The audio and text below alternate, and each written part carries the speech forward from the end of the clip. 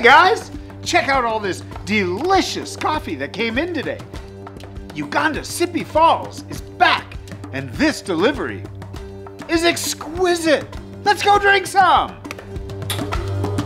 There's nothing like the first sip of a brand new fresh farm coffee. Right there. Ah, the aromas are filled with vanilla and sweet cream and notes of orange.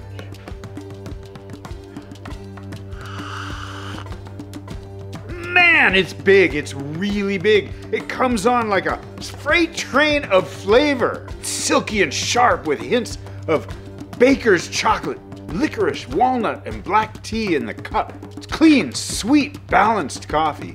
The finish is full, earthy, with a toasted sugar kind of snap. This coffee leaves my mouth feeling invigorated. Mwah! I love you guys. Thanks for stopping in. Have a great cup of coffee, and I'll see you again next week.